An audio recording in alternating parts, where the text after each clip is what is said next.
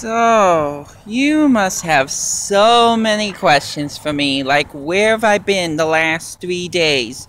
Why am I not uploading more Yoshi content? Why am I not uploading the stuff you want?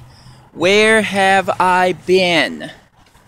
Oh, I'm not sure if I can answer all those questions, but let's just say I got really burnt out on YouTube.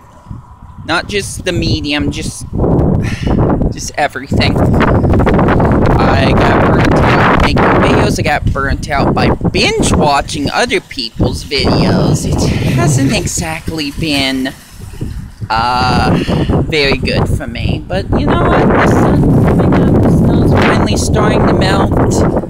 And I think I'm starting to feel a little bit better. So, here's what's going to happen this week.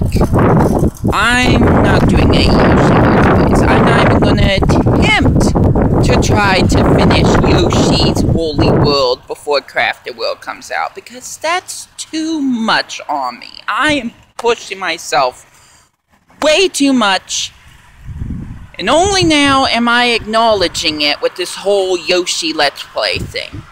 I might even put a pause to Super Mario World 2 Yoshi's Island so I can focus on one of the two Let's Plays you want me to do, like either Donkey Kong Country or The Legend of Zelda, A Link to the Past.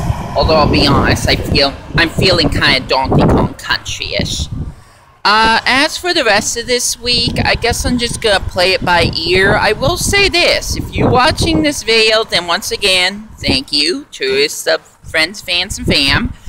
And I'd like to tell you that for today, I'm going to do a live stream. So if you are interested in seeing it, regardless of whatever the game is, and I promise it's not going to be that big of a deal, let me know in the comments down below.